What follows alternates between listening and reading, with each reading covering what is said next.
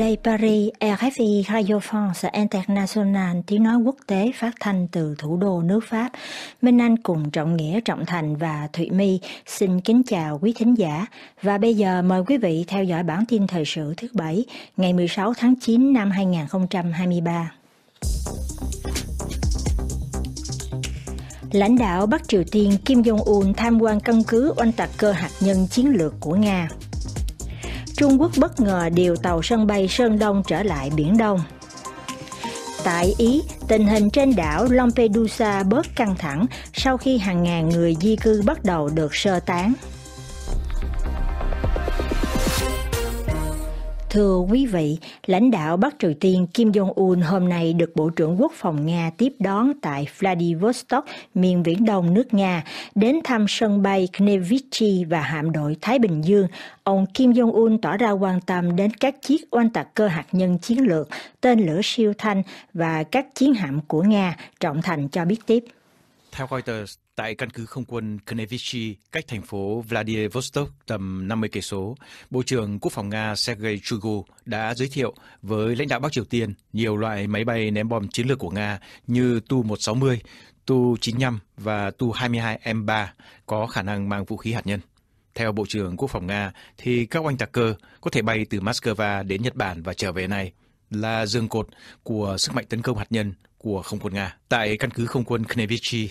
Ông Kim Jong-un còn được xem một chiến đấu cơ đánh chặn MiG-31I được trang bị tên lửa siêu thanh Kinzhan có khả năng mang các đầu đạn hạt nhân hay thông thường có tầm bắn từ 1.500 cho đến 2.000 cây số và có thể di chuyển với một vận tốc nhanh gấp 10 lần âm thanh, tức khoảng 12.000 cây số giờ. Cũng theo hãng tin Anh, lãnh đạo Bắc Triều Tiên đã đến tham quan tàu chiến của hạm đội Thái Bình Dương của Nga tại Vladivostok và xem một màn trình diễn của Hải quân Nga. Chuyến thị sát này của lãnh đạo Bắc Triều Tiên diễn ra một ngày sau chuyến thăm nhà máy Yuri Gagarin, nơi sản xuất các chiến đấu cơ Sukhoi của Nga. Trước nguy cơ Nga và Bắc Triều Tiên tăng cường hợp tác quân sự, Mỹ và Hàn Quốc đã bày tỏ mối quan ngại về khả năng Bắc Triều Tiên được tiếp cận nhiều công nghệ nhạy cảm của Nga. Liên quan đến Ukraine, Ủy ban châu Âu hôm qua cho biết sẽ đình chỉ lệnh cấm do năm quốc gia thuộc Liên hiệp châu Âu áp đặt đối với việc nhập ngũ cốc của Ukraine để bảo vệ nông dân của mình. Quyết định này nhằm đánh đổi lấy cam kết từ Kiev là sẽ thực hiện các biện pháp kiểm soát dòng ngũ cốc tràn vào các nước láng giềng. Trọng Nghĩa cho biết thêm.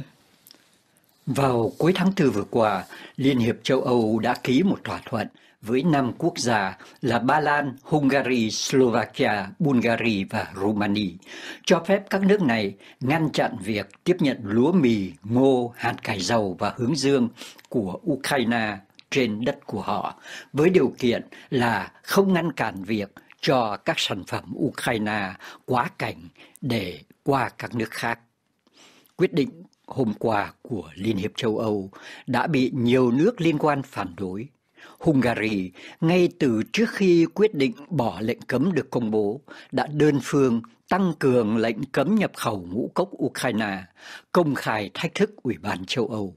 Ngay sau đó, Ba Lan và Slovakia cũng tuyên bố sẽ gia hạn lệnh cấm. Rumani thì cho biết rất tiếc về quyết định của EU, nhưng tuyên bố chờ các hành động cụ thể của Ukraine trước khi có quyết định dứt khoát.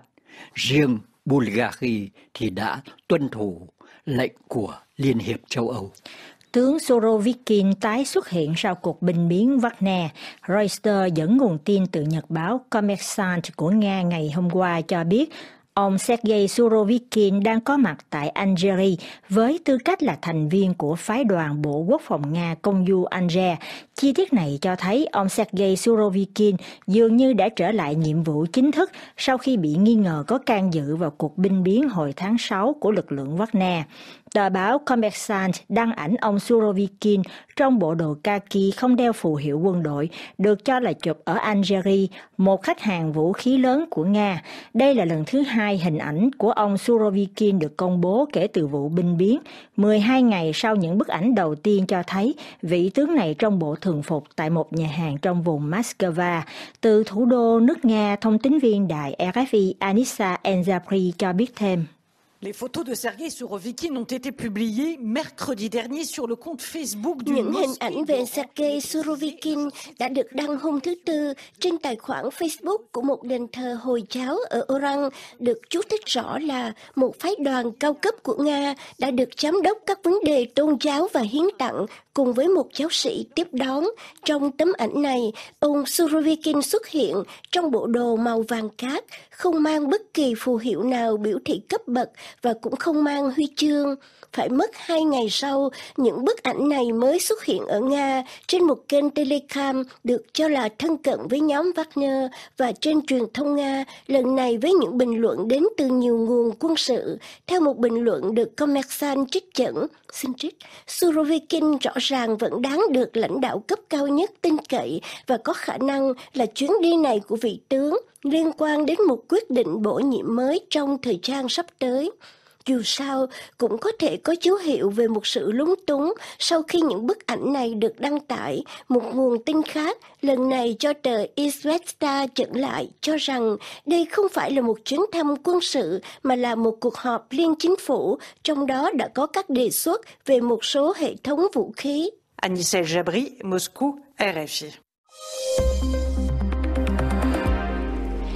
Trong một động thái bất thường, Trung Quốc đã cho nhóm tác chiến tàu sân bay Sơn Đông trở lại Biển Đông từ ngày hôm qua.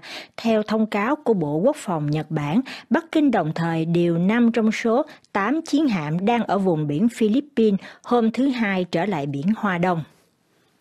Trong bản thông cáo công bố hôm qua, Văn phòng Ban Tham mưu Liên quân thuộc Bộ Quốc phòng Nhật Bản cho biết, tàu sân bay Sơn Đông của Trung Quốc mang theo 40 chiến đấu cơ J-15 và 20 trực thăng Z-18 đã từ vùng biển Philippines bắt đầu di chuyển về phía Biển Đông ngay từ thứ Năm.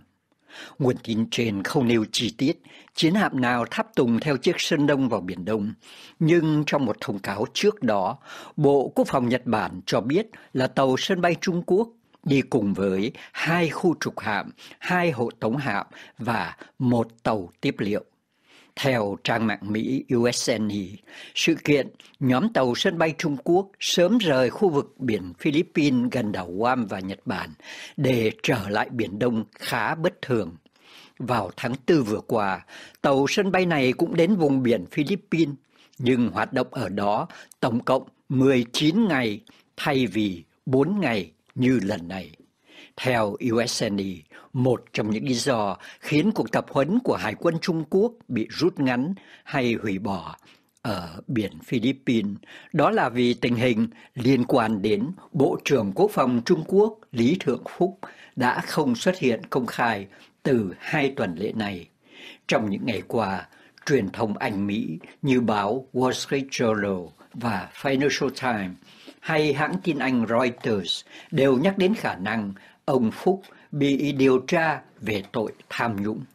Sự kiện tàu sân bay Trung Quốc sớm trở lại Biển Đông cũng diễn ra hai ngày trước một cuộc tập trận hỗn hợp hải lục không quân của khối ASEAN được tổ chức từ ngày 18 đến ngày 23 tháng 9 tới đây ở khu vực đảo Batam, Indonesia, ở phía đông eo biển Malacca. Cũng liên quan đến Trung Quốc, nhiều lãnh đạo Liên hiệp châu Âu hôm qua khẳng định rằng kinh tế của khối có thể đứng vững trước bất kỳ hành vi trả đũa nào từ phía Trung Quốc. Tuyên bố này được đưa ra sau khi Bắc Kinh cảnh báo rằng quan hệ thương mại song phương sẽ bị tổn hại nếu Bruxelles mở điều tra nhắm vào các hành động trợ giá ô tô điện của Trung Quốc. Mọi việc bắt nguồn từ tuyên bố của Chủ tịch Ủy ban châu Âu Ursula von der Leyen hôm 14 tháng 9 vừa qua, cho biết quyết định mở cuộc điều tra chống Trung Quốc trợ giá cho ngành xe hơi chạy bằng điện, cáo buộc Bắc Kinh về việc giữ giá ô tô thấp giả tạo bằng các khoản trợ cấp khổng lồ của nhà nước. Cuộc điều tra có thể dẫn đến việc Liên hiệp châu Âu bảo vệ các nhà sản xuất ô tô châu Âu bằng cách áp đặt mức thuế trừng phạt đối với loại xe hơi mà họ cho rằng được bán không công bằng với giá thấp hơn. Một ngày sau thông báo của bà von der Leyen, Bộ Thương mại Trung Quốc đã tố cáo xin trích chủ nghĩa bảo hộ mậu dịch trắng trợn của EU và cho biết các biện pháp này sẽ có tác động tiêu cực đến quan hệ kinh tế và thương mại Trung Quốc EU. Thương mại với Trung Quốc chiếm khoảng 2,5 GDP khu vực sử dụng đồng euro, nhưng Ủy viên Kinh tế châu Âu Paolo Gentiloni dường như không ngạc nhiên trước cảnh báo của Trung Quốc. Ông cho rằng EU phải giải quyết vấn đề một cách nghiêm túc. Cuộc điều tra chống Trung Quốc cũng được mở ra sau khi Pháp yêu cầu Bruxelles hành động mạnh mẽ hơn để bảo vệ ngành công nghiệp châu Âu trước các mối đe dọa ngày càng tăng đến từ Trung Quốc và Hoa Kỳ. Bộ trưởng Tài chính Pháp Bruno Le Maire phát biểu trên kênh truyền hình Mỹ Bloomberg TV tối qua khẳng định, Chúng tôi không phải sợ bất kỳ quốc gia nào. Chúng tôi là EU. Chúng tôi là một trong những lục địa kinh tế hùng mạnh nhất. Tại Ý, tính từ hôm thứ Hai 11 tháng 9, một con số kỷ lục 10.000 người di cư đến từ hai nước Bắc Phi là Tunisia và Libya đã vượt địa Trung Hải và cập bến đảo Lampedusa miền nam nước Ý. Sự kiện này làm dấy lên một cuộc khủng hoảng nhập cư mới tại Liên hiệp châu Âu. Việc chính quyền Ý bắt đầu cho sơ tán cả nghìn người từ Lampedusa qua đảo Sicilia gần đó cũng như lên đất liền giúp phần nào giảm bớt áp lực. Dù vậy, Hội Chữ Thập Đỏ, tổ chức quản lý trung tâm tiếp đón người di cư trên đảo, vẫn không lơ là cảnh giác, theo như phóng sự của đặc phái viên đài RFI Blondine Hugonet tại Lampedusa claquette aux pieds dans un brouhaha général. Des dizaines d'hommes et quelques femmes repoussent des amas de déchets qui jonchent le Chân đi chép trong một bầu không khí cực kỳ huyên náo, hàng chục người đàn ông và một vài phụ nữ cố chẹp những đống rác thải vương vãi trên sân qua một bên để đặt những chiếc giường xếp bên trong cũng như bên ngoài khuôn viên trung tâm tiếp cư Lampedusa. Số người còn lại ở đây lên đến 2.000 người, vẫn vượt quá sức chứa của cơ sở vốn chỉ có 400 chỗ trong một tòa nhà màu trắng nằm nằm ở cuối một con đường kẹt giữa hai ngọn đồi. Con số 2.000 người này thấp hơn rất nhiều so với đám đông kỷ lục trong những ngày gần đây. Nhưng đối với bà Francesca Pazin, lãnh đạo bộ phận quản lý người di cư của Hội Chữ Thập Đỏ Ý, đảm bảo việc chăm sóc cho mọi người vẫn là những thách thức hàng ngày. Bà nói, chúng tôi đã thực hiện mọi thủ tục cần thiết cho những trường hợp khẩn cấp. Tình hình ở đây thực sự đặc biệt và nguy cấp. Tại đây, chúng tôi có khoảng 100 hội viên và tình nguyện viên để tiếp xúc với những người di cư đề nghị hỗ trợ họ. Hết lời chẩn. Thế nhưng làm sao quản lý được mọi thứ khi có đến 7.000 người đổ bộ lên đảo trong vỏn vẹn 2 ngày và với những chiếc thuyền, người di cư vẫn tiếp tục cập bến Lampedusa. Trong bối cảnh đó, nhiều người di cư đã phải lang thang tìm thức ăn trên các con đường của hòn đảo hàng trăm người đã đổ xô đến cửa nhà thờ vào giờ ăn trưa để tìm thứ gì đó để ăn. Chỉ riêng vào buổi trưa hôm qua đã có 5.000 bữa ăn được chuẩn bị và phân phát. Cư dân trên đảo đã lên tuyến đầu tham gia công việc cứu trợ nhưng không tránh khỏi bực tức vì có cảm giác đang phải sống lại những ngày tồi tệ nhất của cuộc khủng hoảng di cư những năm trước đây. Blandine Hugonet, Lampedusa, RFI. Tại Iran, hôm nay là đúng một năm ngày cô Masa Amini, 22 tuổi, gốc người cuộc qua đời trong khi bị giam giữ. Vụ việc đã làm dấy lên một làn sóng phản đối mạnh mẽ trong năm 2022. Gần đến ngày tưởng niệm một năm ngày mất của Masa Amini, nhiều nhà đấu tranh tố cáo chính quyền Tehran gia tăng, gia tăng trấn áp. AFP nhắc lại lời thuật từ gia đình cho biết Cô Masha Amini đã chết vì bị đánh đập vào đầu trong thời gian giam giữ vì bị quy chụp là vi phạm luật trang phục Hồi giáo đối với phụ nữ. Cái chết của cô đã làm bùng nổ phong trào phản kháng, quy tụ đông đảo phụ nữ tham gia, làm lung lay chế độ thần quyền Iran. Những cuộc biểu tình rầm rộ kéo dài nhiều tháng trong năm ngoái 2022 bị chấn áp đẫm máu khiến gần 600 người thiệt mạng, trong đó có gần 70 trẻ em và 49 phụ nữ bị lực lượng an ninh bắn giết. Hơn 22.000 người bị bắt theo số liệu từ tổ chức Amnesty International. Trong số này có 7 người đàn ông bị xử tử vì có liên quan đến biểu tình. Gần sát đến ngày tưởng niệm một năm, chính quyền Tehran gia tăng đàn áp nhắm vào gia đình của những người bị giết chết trong các cuộc biểu tình. Theo Tổ chức Bảo vệ Nhân quyền Human Rights Watch, trong tháng 8 vừa qua, thân nhân của khoảng ít nhất 36 người bị giết chết hay bị hành quyết trong các cuộc trấn áp năm 2022 đã bị thẩm vấn, bắt giữ, bị truy tố hay bị kết án tù nặng. Về phần mình, chính quyền Tehran hôm nay lên án phương Tây là đạo đức giả khi ban hành thêm nhiều biện pháp trừng phạt mới nhắm vào giới chức truyền thông Iran hôm thứ Năm 14 tháng 9. Theo ghi nhận của thông tin viên Ekhefi Siavos Ghazi tại Tehran, thì những trừng phạt mới của Mỹ và phương Tây đang gây khó khăn cho nền kinh tế nước này. Lạm phát tăng đến 50% mỗi năm, khiến cuộc sống của tầng lớp trung lưu Iran trở nên khó khăn hơn. Trở lại với châu Âu trong nhưng trong lĩnh vực văn hóa, hôm nay và ngày mai tại Pháp và hơn 40 quốc gia châu Âu khác diễn ra nhiều hoạt động thăm viếng các di sản văn hóa, nghệ thuật, kiến trúc trong khuôn khổ Ngày hội di sản toàn châu Âu thường niên. Từ một sáng kiến riêng của Pháp, Ngày hội di sản đã trở thành một sự kiện lớn của toàn châu Âu với tôn chỉ châu Âu một di sản chung. Trong hai ngày hội di sản châu Âu, những người quan tâm có cơ hội khám phá những địa điểm vốn thường đóng cửa với công chúng như phủ tổng thống, nhà quốc hội, tòa án, tòa thị chính, thánh đường, nhà hát, lâu đài hay các tư dinh ngân hàng, vân vân. Chủ đề chính năm nay là các di sản sống, tức các tập quán, tri thức thực hành, được truyền từ thế hệ này sang thế hệ khác như lễ hội carnival, nghề thủ công truyền thống. Nhưng thể thao cũng là một di sản sống.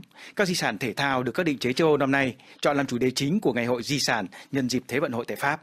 Kết hợp văn hóa nghệ thuật với thể thao, kết hợp cơ bắp với trí óc là một trong những nền tảng của tinh thần Thế vận hội như tâm niệm của nam tước Pierre de Coubertin, người thường được coi là cha đẻ của Olympic hiện đại.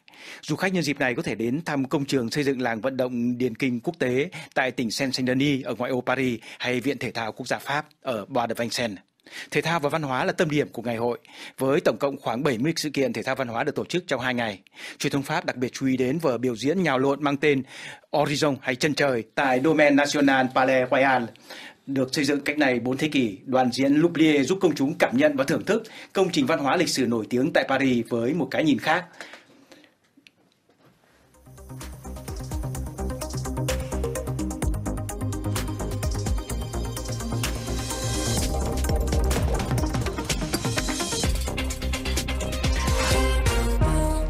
Quý khán giả đang theo dõi bản tin thời sự của bàn tiếng Việt đài FFI trong phần 2 sắp đến. Mở đầu là tạp chí Thế giới đó đây, Thùy Dương phụ trách với chủ đề chính. Tại Trung Quốc, mặc trang phục làm tổn hại tinh thần dân tộc có thể bị kết án hình sự. Tiếp đến là một góc vườn âm nhạc. Tuấn Thảo nói về tình khúc Hạnh phúc nơi nào của tác giả Nicole Siber. Sau cùng, chúng tôi xin phát lại tạp chí Người Pháp, nước Pháp, song sen của những họa sĩ trường phái ấn tượng Impressionisme, Thu Hằng thực hiện với phần phân tích của bà Florence Calame-Leve, phụ trách về nghệ thuật hiện đại và đương đại tại Liên hiệp các bảo tàng thành phố Rouen của Pháp. Nhưng ngay sau đây, mời quý vị đến với một điểm tuần báo Thụy My biên soạn. Điểm tuần báo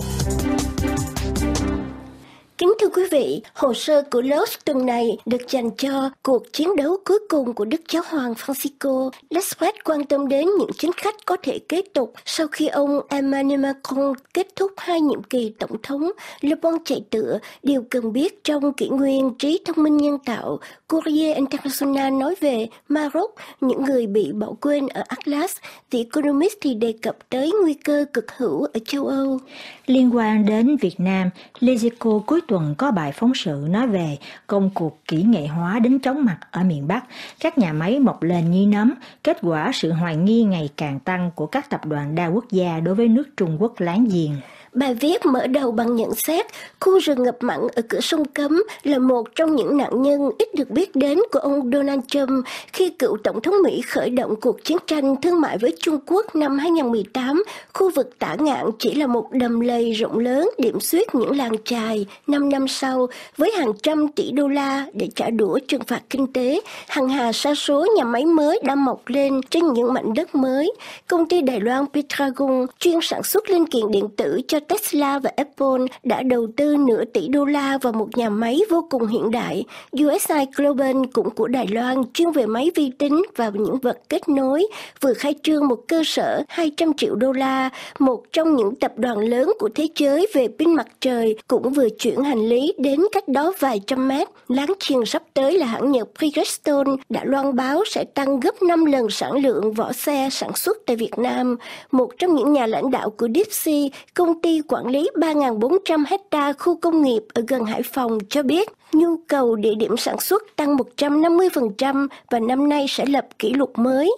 Đa số các doanh nghiệp đến đây nhằm chuyển dịch sản xuất khỏi hoa lục. bắt đầu từ 2010 khi lương công nhân Trung Quốc tăng lên nhưng đã tăng tốc từ thương chiến Mỹ-Trung để tránh hàng rào thuế quan và càng đẩy mạnh khi đại dịch tràn đến, bị phong tỏa liên miên trong Zero Covid, các tập đoàn đa quốc gia tìm cách chạm lệ thuộc vào Bắc Kinh và rồi cuộc xâm lăng Ukraine đã thuyết phục được những người cuối cùng còn do dự.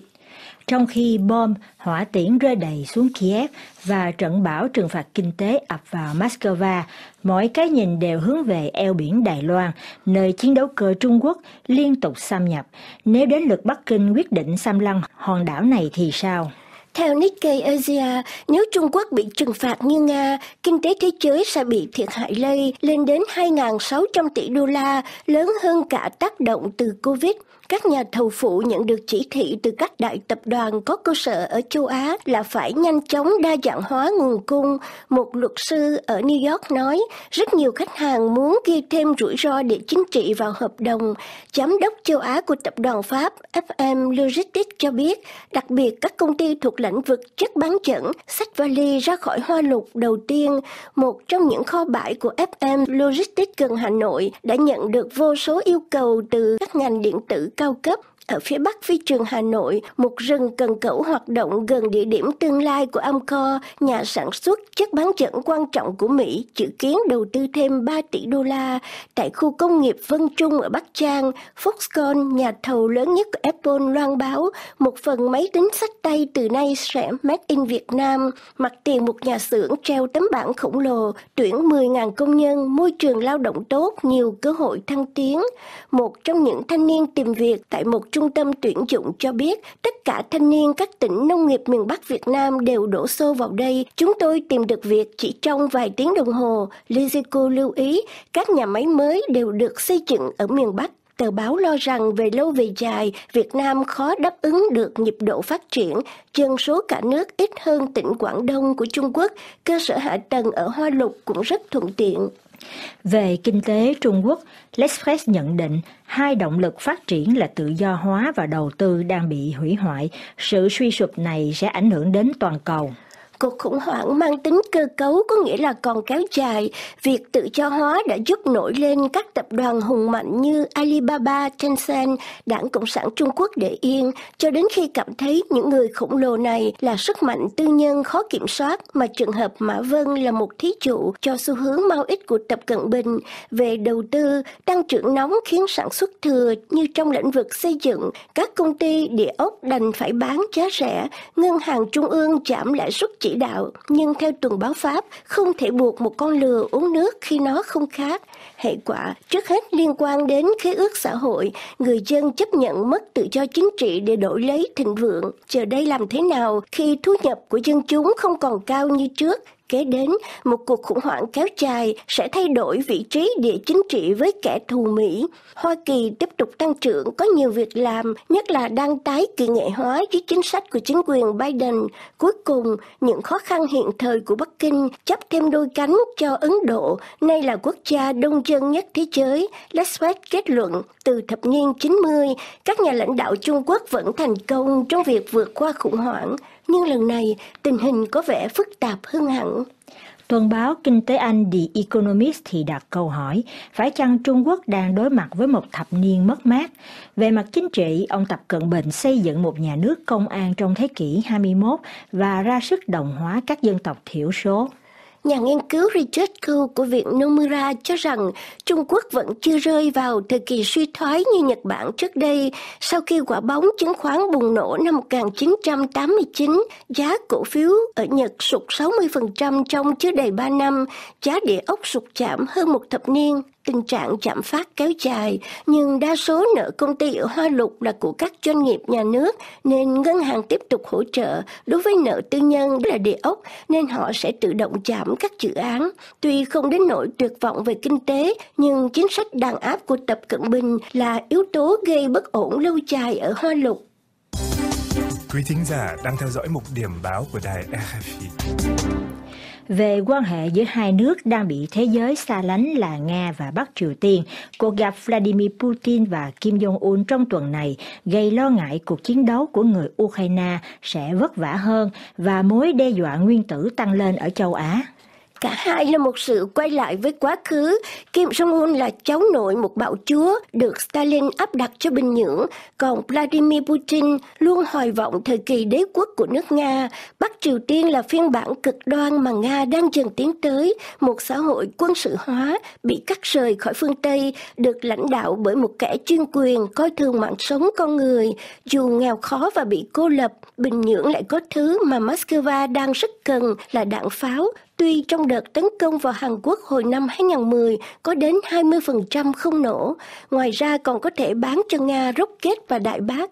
Mọi thỏa thuận về đạn dược diễn ra vào thời điểm nhạy cảm, cuộc phản công của Ukraine có thể giúp quân Nga cầm chân lực lượng Kiev, làm tăng thêm số thiệt hại trong những tháng mùa đông sắp tới. Đổi lại, Kim Jong-un có thể đòi hỏi chuyển giao công nghệ hỏa tiễn để cải thiện tầm bắn, tính chính xác và linh hoạt của hệ thống phóng vũ khí nguyên tử, cũng như những bí mật về vệ tinh và tàu ngầm Nga.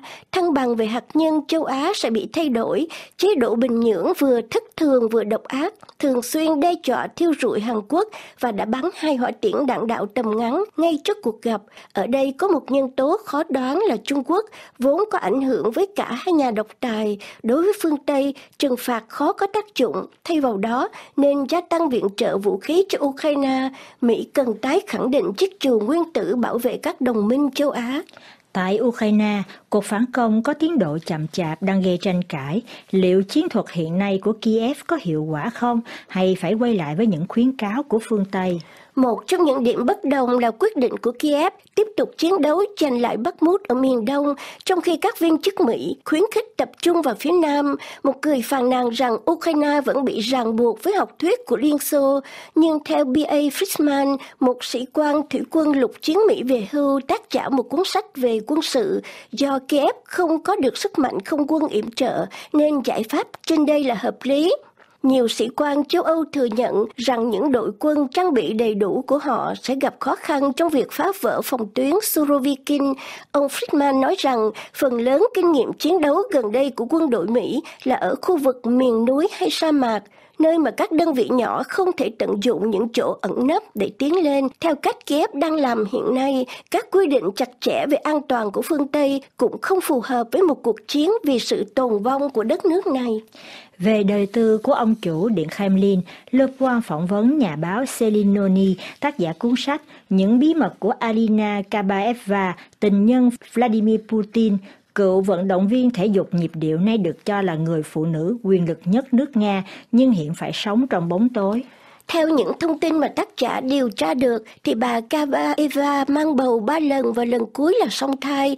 Nếu theo tin đồn một trẻ song sinh là bé trai, thì người tình này sẽ có vị trí quan trọng vì Putin cho đến nay chỉ có con gái. Một chi tiết gây hoang mang là bác sĩ sản khoa Natalia Tibo, người Thụy Sĩ gốc Nga đã chăm sóc cho Alina trong thời gian mang thai. Hồi tháng 2 được nêu tên trong một hồ sơ về cặp Kabaeva Putin, nhưng 4 ngày sau bỗng bị chết trong hoàn cảnh đáng ngờ về tài sản của Alina. Người ta chỉ biết bà hưởng lương 10 triệu đô la một năm với tư cách chủ tịch một tập đoàn truyền thông, nhưng thực tế rất giàu có với vô số biệt thự, nhà nghỉ sang trọng và nhiều tài sản được người thân đứng tên. Nhìn sang Trung Đông, đúng một năm sau khi cô gái 22 tuổi Masa Amini bị cảnh sát phong tục Iran đánh chết chỉ vì hoàng khăn Hồi giáo không đúng cách, làm dấy lên phong trào biểu tình chưa từng thấy, các báo đều đều cập đến chủ đề này. Le Monde cuối tuần nhận định Iran, một nước Cộng hòa Hồi giáo đổ nát, những cuộc biểu tình đầy can đảm, rất tiếc là có cùng nhược điểm với mùa xuân Ả Rập trước đó, Sức mạnh của phong trào không thể bù đắp được sự thiếu vắng tổ chức, những khuôn mặt lãnh đạo, chương trình hành động chính trị cụ thể. Địa chính trị cũng làm lợi cho chế độ, một trục xét lại Nga Trung, mang lại cho Tehran những thế mạnh chính trị và kinh tế bất ngờ.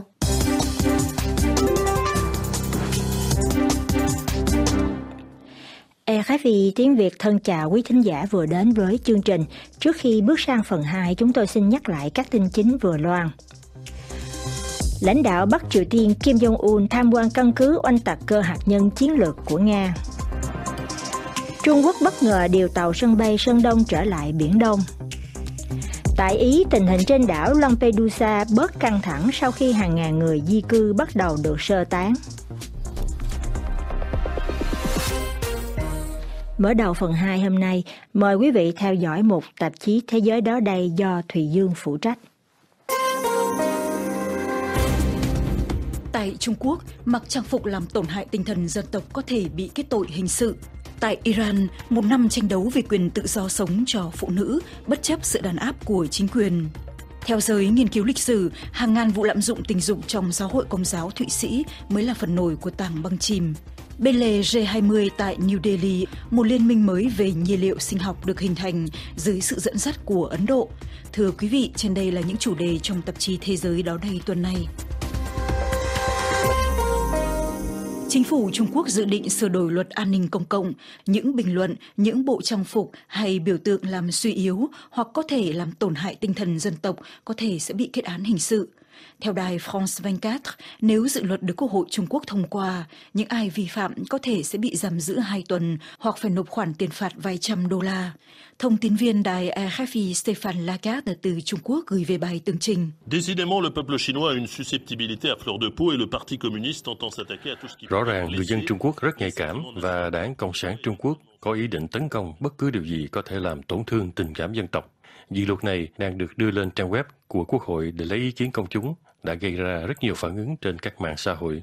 Các luật sư đặc biệt lo ngại về nguy cơ chệch hướng, lạm dụng tùy tiện do có một số điều mơ hồ. Theo các chuyên gia và blogger, dự luật này trên thực tế là nhằm kết tội hình sự bất cứ điều gì có thể gây tổn hại đến điều mà họ xem là tình cảm của đất nước hay tinh thần dân tộc. Những khái niệm vừa mơ hồ vừa mang tính bao quát rất rộng. Năm ngoái, một phụ nữ Trung Quốc mặc kimono, trang phục truyền thống của Nhật Bản, đang đi trên đường thì bị cảnh sát bắt giữ. Cách đây vài ngày, một số người Trung Quốc mặc trang phục nhà đường bị ngăn vào một công viên ở thành phố Vũ Hán. Những nhân viên bảo vệ ở đó đã nhầm tưởng đó là những chiếc ô dù cầm tay và trang phục của những người này là trang phục Nhật Bản, kiểu trang phục có thể xúc phạm đến tinh thần dân tộc Trung Quốc. Dự luật hiện giờ đang vấp phải sự chỉ trích mạnh mẽ từ công luận. Nhật báo Hồng Kông South China Morning Post cho biết chỉ trong vòng một tuần đã có tới 70.000 người đưa ra ý kiến, đa phần là phản đối dự luật. Một số phương tiện truyền thông nhà nước bảo thủ thậm chí còn yêu cầu chính phủ Trung Quốc giải thích. Điều khá hiếm xảy ra tại Trung Quốc. Đây không phải là lần đầu tiên chính quyền Trung Quốc lợi dụng những điều mơ hồ để dễ bề kiểm duyệt. Thế nhưng, lần này theo ông Hồ Tinh Bosco Hùng, chuyên gia về Trung Quốc tại nhóm nghiên cứu an ninh quốc tế Verona, việc chính quyền Trung Quốc động chạm đến trang phục, một khía cạnh thiết yếu trong cuộc sống hàng ngày, đã khiến người dân lo sợ, chẳng hạn như mặc những bộ quần áo nhập khẩu từ nước ngoài đến công sở sẽ bị quy tội. Ông Hồ Tinh Bosco Hùng nhắc lại là từ những năm 1980 đã có một kiểu thỏa hiệp quốc gia ngầm. Theo đó, nhà nước Trung Quốc không can thiệp vào cách ăn mặc của người dân. Một luật sư liên hệ đến lực lượng cảnh sát đạo đức, những vụ việc đau lòng tại Iran hoặc Afghanistan liên quan đến những quy định khắc nghiệt về trang phục của phụ nữ Hồi giáo. Nhìn sang Iran, ngày 16 tháng 9 là tròn một năm, ngày cô gái trẻ Masha Amini, 22 tuổi, tử vong sau khi bị cảnh sát đạo đức Iran bắt vì cáo buộc mang khăn trùng đầu không đúng quy định.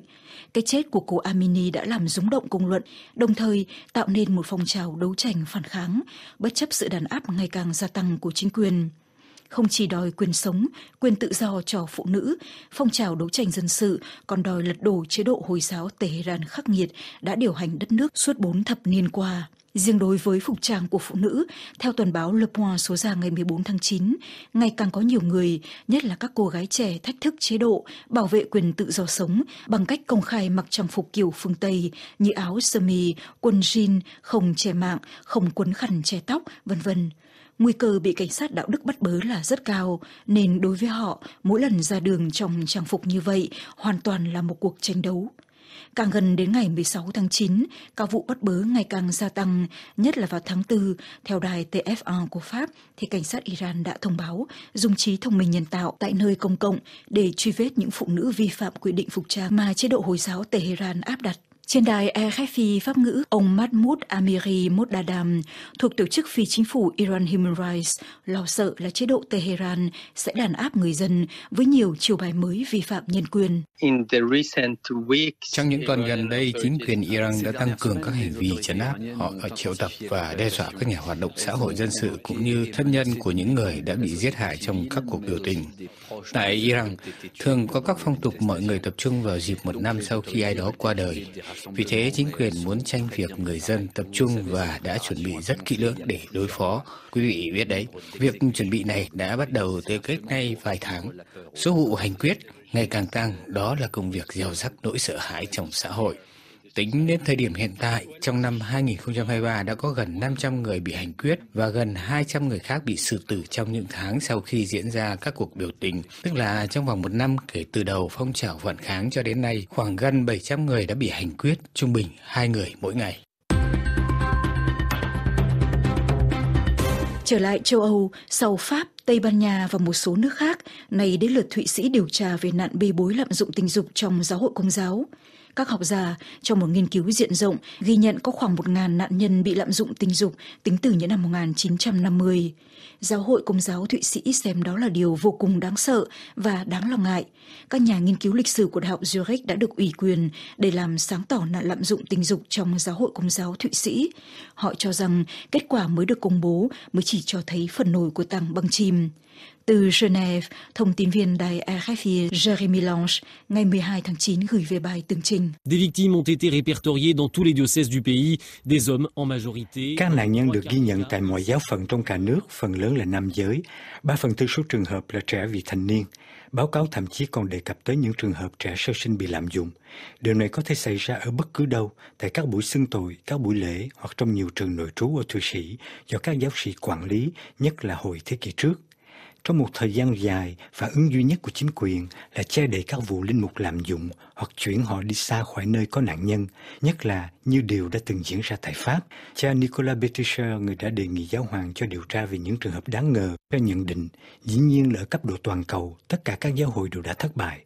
Bởi vì giáo hội ở mọi nơi đều có cấu trúc giống nhau, chúng ta không thể tiếp tục duy trì quan niệm rằng một giám mục vừa là người cha tinh thần, vừa là thẩm phán tối cao, người chịu trách nhiệm điều hành, đồng thời là người làm ra luật.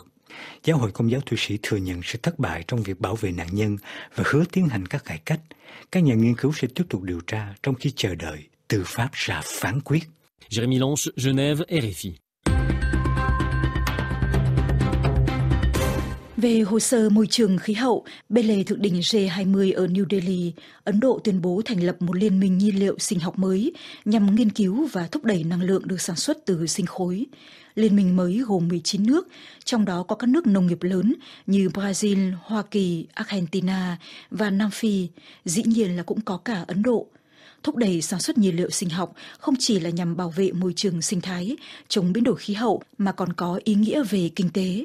Từ New Delhi, thông tín viên đài RFI Sébastien Farsi giải thích. L'Agence internationale de l'énergie estime que la production de biocarburants doit tripler d'ici à 2030 pour se mettre sur la voie de la neutralité Cơ quan năng lượng quốc tế nhận định là đến năm 2030, sản xuất nhiên liệu sinh học phải tăng gấp 3 lần thì mới đạt được mục tiêu trung hòa về carbon. Hiện tại chẳng hạn như Ấn Độ và Brazil, sản xuất nhiên liệu sinh học là điều chế ethanol từ mía, nhưng cũng cần nghiên cứu để phát triển thế hệ nhiên liệu sinh học thứ tư, theo như giải thích của Chandra Bhushan, giám đốc của tổ chức tư vấn môi trường iForest ở New Delhi. Ông nói, nhiên liệu sinh học hiện nay được sản xuất bằng cách chuyển đổi các sản phẩm nông nghiệp thành ethanol. Thế nhưng thế hệ nhiên liệu sinh học tiếp theo sẽ không phải là từ nông nghiệp mà là điều chế từ tảo và vi sinh vật nhờ nguồn năng lượng mặt trời. Theo ông, điều này sẽ cho phép đạt hiệu quả cao hơn nhiều. Người ta còn gọi đó là nhiên liệu tảo. Ưu điểm của tảo đó là sống nhờ nước biển và ánh sáng mặt trời, không cần nước ngọt và phân bón. Các nhu cầu về nhiên liệu sinh học có lẽ sẽ mở rộng vượt ra bên ngoài lĩnh vực xe hơi. Chandra Bhushan, giám đốc tổ chức tư vấn môi trường iForest ở New Delhi phát biểu. Nhiên liệu sinh học sẽ có tầm quan trọng trong lĩnh vực hàng không trong vòng 20 năm tới đây, trong khi chờ đợi nguồn nhiên liệu hydrogen và ắc quy điện phát triển hơn, tôi nghĩ rằng động cơ máy bay sẽ bắt đầu hoạt động với ethanol. Hết lời dẫn. Riêng Hoa Kỳ và Brazil, hai thành viên trụ cột sáng lập Liên minh nhiên liệu sinh học, sản xuất tổng cộng đến 82% lượng ethanol trên toàn thế giới. Sébastien Farsi, New Delhi, RFI. Vừa rồi là tạp chí Thế giới đó đây do Thùy Dương phụ trách. Tiếp tục chương trình mời quý vị đến với góc vườn âm nhạc. Tuấn Thảo biên soạn nói về tình khúc Hạnh phúc nơi nào của Nicole Sibert.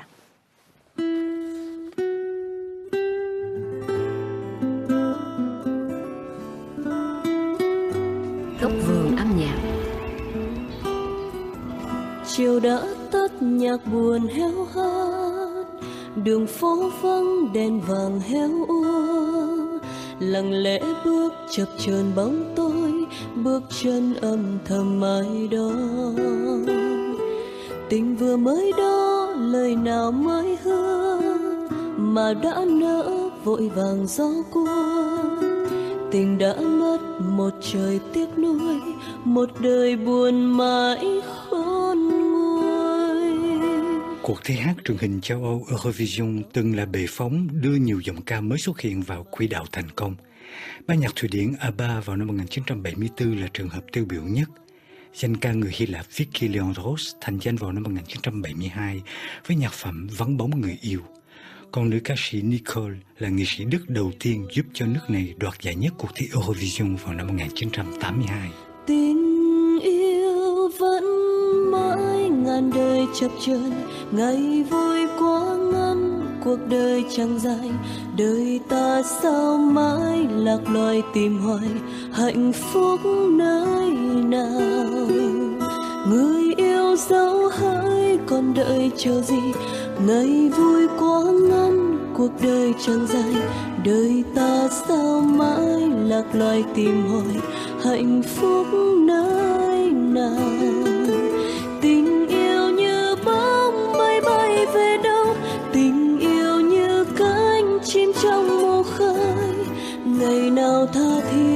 giờ thành muộn màng.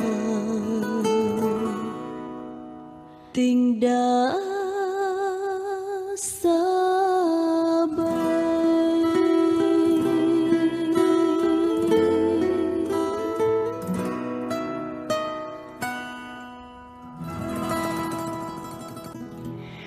Sinh trưởng trong một gia đình đông con ở thành phố Saarbrücken, nằm cách biên giới nước Pháp chỉ vài cây số.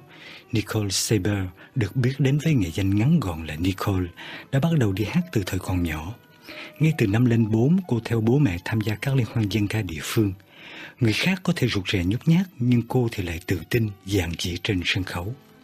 Ngoài tiếng Đức và tiếng Anh, Nicole còn hát tiếng Pháp rất chuẩn, chủ yếu cũng vì cô lớn lên ở vùng biên giới Pháp-Đức, cho nên càng dễ thấm nhuần cả hai nền văn hóa. Tuy bắt đầu đi hát rất sớm, nhưng bạn đến năm 16 tuổi cô mới trở thành ca sĩ chuyên nghiệp nhờ ký hợp đồng ghi âm dài hạn. Bản ghi âm đầu tay được phát hành vào năm 1981 đã giành lấy hàng nhì trên thị trường Áo và thành công bước đầu này giúp cho Nicole vững tâm hơn khi tham gia buổi casting thử giọng nhằm tuyển chọn thí sinh đại diện cho nước Đức tham gia cuộc thi hát truyền hình châu Âu Eurovision. Vào năm 1982, lúc bấy giờ Nicole chưa đầy 18 tuổi, trở thành ca sĩ trẻ tuổi nhất năm ấy, đoạt giải nhất cuộc thi Eurovision với nhạc phẩm Ein bisschen Frieden, tạm dịch khoảnh khắc bình yên. Bài hát này nói lên khát vọng của tuổi trẻ được sống trong một thế giới hòa bình. Sau đó đã lập kỷ lục nhờ được Nicole ghi âm lại trong 10 ngôn ngữ khác nhau, kể cả tiếng Anh, tiếng Pháp, tiếng Nga, Đan Mạch hay Ba Lan. Que puis-je faire avec une chanson Mais pourquoi me taire Y a pas de raison. Sing our songs vor dem Dunkeln mein Lied Und hoffe, dass à nichts geschieht Hồi tưởng lại những năm mới vào nghề, Nicole Seber cho biết giải nhất cuộc thi Eurovision vẫn là một thành tích để đời, nhưng có ý nghĩa quan trọng hơn nữa là cô đã nhận được số điểm cao nhất từ phía ban giám khảo Israel và Bộ Văn hóa nước này sau đó đã mời cô đến thành phố Tel Aviv biểu diễn. Một năm sau khi đoạt giải quán quân nhân kỳ thi Eurovision tổ chức tại Vương quốc Anh, Nicole thành công một lần nữa tại Nhật Bản. Lần này cô về hàng nhì nhân kỳ liên hoan ca khúc thế giới diễn ra tại Tokyo. Nhạc phẩm giúp cho cô thành công là ban nhạc biết bao giai điệu trong tim, từ đề tiếng Anh là So Many Songs in My Heart.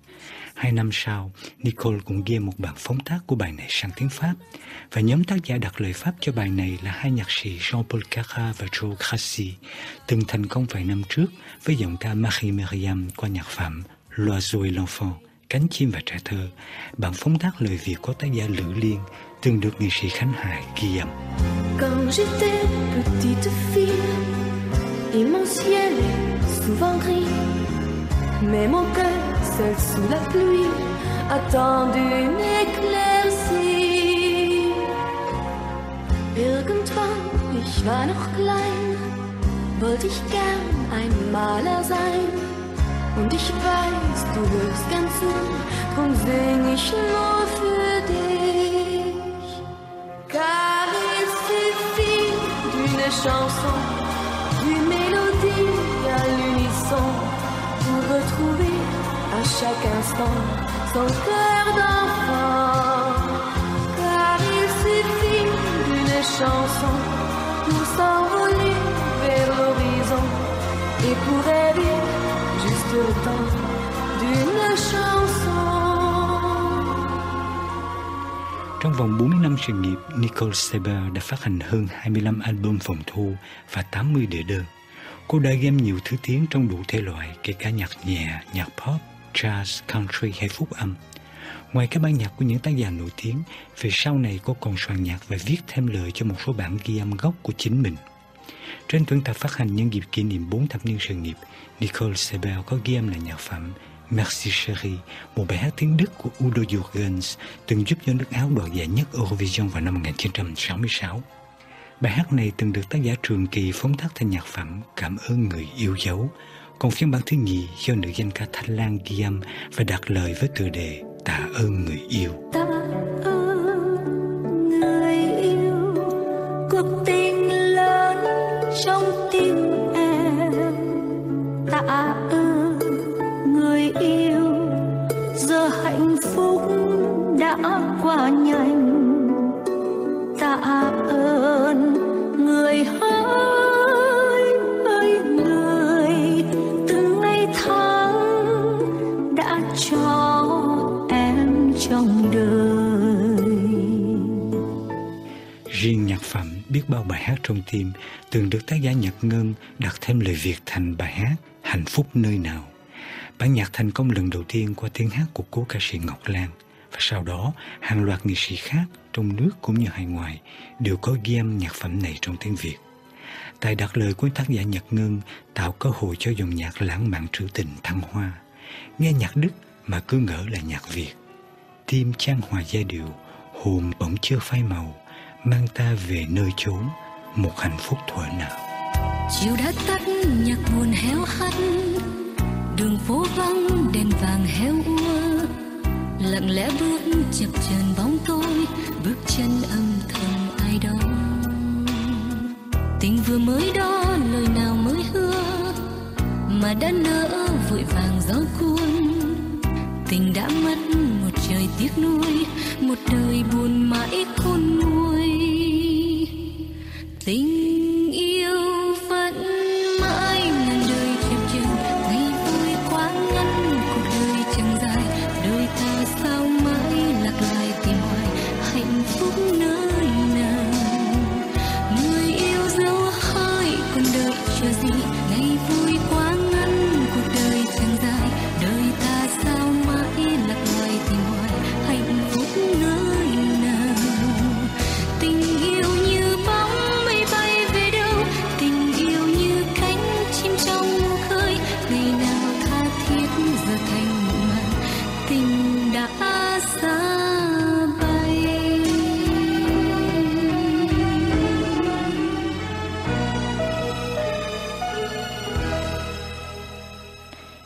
Vừa rồi là góc vườn âm nhạc do Tuấn Thảo biên soạn. Trước khi khép lại chương trình, mời quý vị nghe lại tạp chí Người Pháp nước Pháp Thu Hằng thực hiện và được phát lần đầu vào ngày hôm qua. Tạp chí Người Pháp, nước Pháp. Paris, Rouen, Le Havre là cùng một thành phố, còn sông Seine là phố chính. Câu nói của Napoleon năm 1802 có lẽ đúng với các họa sĩ theo chiều phái ấn tượng Impressionist, những người tìm thấy ở sông Seine nguồn cảm hứng vô tận. Họ bị coi là lập dị vì vẽ trực tiếp thiên nhiên, những con người bình dị. Tranh của họ bị coi thường vì không theo thể thống, phá vỡ mọi nguyên tắc. Tên gọi ấn tượng cũng bắt nguồn từ mỉa mai của tờ báo trào phúng Le Savirari về bức tranh Impression Soleil Levant, tham dịch là Ấn tượng mặt trời mọc năm 1872 bên bờ cảng Le Havre của Monet. Cụm từ ấn tượng được thể hiện qua nét vẽ nhanh, nhiều màu trên tác phẩm, miêu tả màn sương đang bốc hơi, phản chiếu sắc cam trên trời dưới nước nhưng lại tạo cảm giác là tác phẩm như con giang dở trong mắt người đương thời. Khi bị chế nhạo như vậy, Monet tác giả bức tranh lấy luôn tên Impression ghép với đuôi ism chỉ các trường phái hoặc chủ nghĩa đang tịnh hành lúc đó để đặt tên cho phong trào hội họa mới, xuất hiện từ những năm 1820. Trả lời RFI tiếng Việt, bà Florence Calam Levert, phụ trách về nghệ thuật hiện đại và đương đại tại Liên hiệp các bảo tàng thành phố Rouen, giải thích thêm về nguồn gốc của trường phái ấn tượng. L'impressionnisme, voilà, ce que je veux dire, c'est que ça n'est pas d'un coup de baguette magique. Không phải phát triển đũa thần là ra được trường phái ấn tượng, đó là một quá trình được hình thành từ lâu. Vào cuối thế kỷ 18, nhiều họa sĩ như Hubert Robert hay Pierre-Henri de Valenciennes có sở thích đặc biệt là vẽ ngoài trời. Ý là chặng dừng chân bắt buộc trong thời gian trao dồi để trở thành họa sĩ. Có rất nhiều người đã tranh thủ chuyến đi để vẽ ngoài trời. Có thể thấy xu hướng đã nhen nhóm, dù công luận chưa hào hứng hẳn, bởi vì những tác phẩm được giới thiệu tại các phòng tranh vẫn là những tác phẩm chủ yếu được vẽ ở xưởng, tuân theo những nguyên tắc hội họa truyền thống và cổ điển. Trường phái ấn tượng đặc trưng cho việc dùng hình ảnh miêu tả ánh sáng, sự chuyển biến của ánh sáng ngoài trời với bầu không khí. Vùng Normandy là địa điểm được yêu thích do gần với biển, gần với sông Sen, nên thời tiết ở đây luôn thay đổi và chất lượng ánh sáng đặc biệt thu hút những họa sĩ theo trường phái ấn tượng. La lumière est vraiment une fascination pour les peintres impressionnistes. Trong sự phá cách đó, dòng sông Sen là nguồn ý tưởng vô tận cho các họa sĩ trẻ và trở thành sông Sen của các họa sĩ ấn tượng. Cảnh vật thay đổi theo bốn mùa, bầu trời lúc mưa lúc nắng, dòng nước như tấm gương phản chiếu luôn thay đổi. Bà Florence Calam Levesque giải thích tiếp. La lumière et puis la transcription de la lumière, c'est une fascination pour ces peintres ánh sáng, rồi việc lột tả được ánh sáng đó là điều gì đó quyến rũ các họa sĩ. Sự phản chiếu của sông sen và quang cảnh được Claude Monet thể hiện trong tác phẩm năm 1914 được trưng bày ở Bảo tàng Mỹ thuật Hoàng. Sông sen phủ mây mù tùy theo mùa, rồi tùy theo giờ trong ngày, bầu trời có thể mang sắc xanh hay xám, sông sen tái hiện được hết. Khu vực được gọi là hạ lưu sông Seine, Seine inférieure, tên gọi hiện nay là Seine maritime.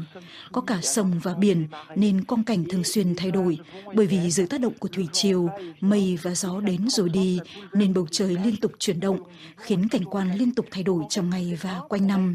Đối với các họa sĩ ấn tượng, đó là một bộ sưu tập hiện tượng thiên nhiên, ánh sáng vô tận, Trước biển, trước dòng sông Sen đầy sắc thái, đó không hẳn là một kiểu quang cảnh biển, mà là quang cảnh của một cửa sông lớn. Euh, Những họa sĩ trẻ ấn tượng còn bị coi là gàn khi đưa vào tranh của mình hình ảnh khói nhà già từ nhà máy, rồi hoạt động trên các bãi cảng, những công nhân bốc vác ăn mặc xuề xòa, trái hẳn với vẻ sang trọng uy nghiêm của những nhân vật trong hội họa cổ điển. Cũng nhờ đường sắt phát triển nên Rouen và Le Havre không còn xa Paris. Cả hai thành phố đều nổi tiếng với hoạt động công nghiệp, hai cảng giao thương, cơ sở hạ tầng phát triển và đặc biệt là nằm ngay bên bờ sông Seine. Tôi nghĩ có một sự tương hợp vì có nhiều họa sĩ ấn tượng đã đến Rouen như Gauguin, Sisley hay Pissarro vân vân. Những người sau này có ảnh hưởng trực tiếp đến trường phái Huang. Họ đến vì nhiều lý do khác nhau, vì Huang có nhiều nhà sưu tập, mạnh thường quân, rồi còn vì Claude Monet sống ở Giverny, cách đó không xa lắm, và bởi vì phải nói là Huang là một thành phố đẹp, nằm ngay bên bờ sông Sen trong thung lũng xanh mướt mắt. Ngoài ra thì Huang còn là nơi dừng chân, gặp gỡ, trao đổi và ngắm cảnh vật thay đổi dọc bờ sông Sen. Nhưng phải nói, điểm đến cuối cùng là Le Havre, bởi vì ở thành phố cảng cũng có rất nhiều hoạt động liên quan đến hội họa. Nói tóm lại, về trường phái ấn tượng, có hai cực là Rouen và Le Havre, có sức hấp dẫn đối với các họa sĩ theo phong cách này. Donc c'est vraiment deux pôles d'attraction très importants pour les artistes euh, impressionnistes. Sức hút của dòng sông Seine được Bảo tàng Mỹ thuật Rouen thể hiện cô động nhưng rất đầy đủ trong sơ đồ địa danh dọc dòng sông gắn liền với tên tuổi của các họa sĩ ấn tượng. Từ Moret-sur-Loing hay Grèce-sur-Loing trên dòng sông Marc đổ ra sông Seine đến Charenton, Meudon, Château, Giverny, Vernon hay Rouen đổ ra cửa sông ở Le Havre. La Seine, c'est aussi une source de vie, un berceau aussi pour les occupations humaines. Sông Sen cũng là một nguồn sống nhộn nhịp hoạt động của con người. Các họa sĩ đến vẽ dọc sông Sen đơn giản là vì họ tìm được chỗ trú chân ở những thành phố lớn như Rouen, nơi cũng có hoạt động công nghiệp, hoặc Le Havre nằm ở cửa sông Sen. Và hai thành phố này không xa nhau lắm, chỉ khoảng 60 km nhưng cũng vì dòng sông Sen quanh co tạo nên những quang cảnh khác nhau với những ngôi làng thường xuyên được các họa sĩ lùi tới. Bên dòng sông uốn lượn vừa có cảnh đẹp nhưng cũng tạo cảm giác như được phiêu lưu. Il y avait un côté aussi pittoresque, c'était toute une aventure que d'être euh, au bord de cette Seine. Wong có vị trí đặc biệt đối với danh họa Claude Monet, người đặt tên trường phái ấn tượng cho dòng tranh mới. Đến Rouen nhiều lần, vẽ Rouen từ nhiều góc, Claude Monet có ấn tượng đặc biệt với nhà thờ lớn Rouen và được họa sĩ Giovanni thể hiện trong một loạt tranh gắn liền với tên tuổi của ông. Bà Florence Calam Levesque giải thích. La série des cathédrales. Loạt tranh về nhà thờ lớn có ý nghĩa quan trọng. Lúc đó vẽ tranh theo loạt, tức là series, cũng nằm trong sự đổi mới đó. Trước loạt tranh về nhà thờ lớn, có rất nhiều chủ đề khác như các cối say gió, nhà ga Saint-Lazare. Chính Monet là người nảy ra ý tưởng vẽ loạt tranh về nhà thờ lớn Rouen. Ông tới Rouen hai lần liên tiếp. François de là người cho Monet mượn căn hộ nhỏ để làm sừng vẽ ngay đối diện nhà thờ lớn để họa sĩ làm việc. Năm 1915, tác phẩm được giới thiệu tại Galerie Pont du Trans Royal và François de là người đầu tiên mua một bức trong loạt tranh về cánh cổng nhà thờ lớn Rouen. Đó là bức là Cathédrale de Rouen Tongri, nhà thờ lớn Rouen lúc trời âm u, hiện được trưng bày trong bảo tàng mỹ thuật Rouen. Trong tác phẩm này, chúng ta thấy những nét sáng trong nền hồng, vàng hay xanh dương. François de Pau đã chọn bức tranh đặc trưng nhất cho mảnh đất của chúng tôi. Đó là khi mưa phùn, người ta có cảm giác như là những viên đá của nhà thờ hòa lẫn vào trong sương mù. Mỗi một mét vuông hòn đá của nhà thờ trở thành chất phát sáng trong cơn mưa phùn với tiết trời xám đó. Claude Monet đã làm được điều tuyệt vời. Trong khi người ta vẫn cứ nghĩ là ánh sáng và trời đẹp thì vẫn thú vị hơn là mưa phùn và trời âm u. Tác phẩm là bằng chứng thực sự cho thấy điều ngược lại.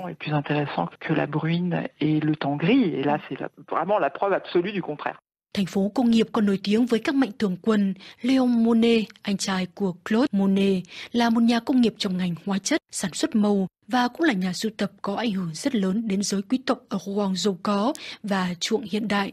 Trong số này có François de Pau, một trong những người chịu ảnh hưởng lớn từ Léon Monet, được mệnh danh là người có 600 bức tranh. Trong đó có 62 bức của Sidney, 23 của Monet, 9 của Pissarro, nhiều bức của Renoir hay Toulouse-Lautrec. C'est des gens qui sont visionnaires, ce ne sont pas des intellectuels, ce sont des entrepreneurs. Đó là những người có tầm nhìn xa trông rộng. Họ không phải là trí thức mà là doanh nhân có xu hướng hiện đại. Họ cởi mở với thế giới, làm việc trên cảng biển, giao thương với bên ngoài. François de Pau là nhà khai thác than. Việc François de Pau quan tâm đến tranh theo trường phái ấn tượng có gì đó mang tính tiền phong, bởi vì vào thời kỳ đó, tranh của các họa sĩ ấn tượng không được trưng bày trong bảo tàng. Nhưng ngoài yếu tố sưu tập cho chính mình thì họ còn hỗ trợ cho các nghệ sĩ và sau này một số nhà sưu tập như François de Pau còn tặng lại bảo tàng bộ sưu tập cho thành phố Rouen để phục vụ công chúng. Họ đi theo hướng bảo trợ, chi tiền để tạo điều kiện cho các nghệ sĩ làm việc sens de l'argent pour permettre aux artistes de travailler. Rời khỏi bảo tàng mỹ thuật Huang trở lại thực tại, khách tham quan như cảm nhận thời gian ngừng trôi giữa những tác phẩm được trưng bày trong bảo tàng với dòng sông Sen vẫn uốn lượn chảy qua thành phố hay với nhà thờ lớn Huang vẫn uy nghiêm ở đó.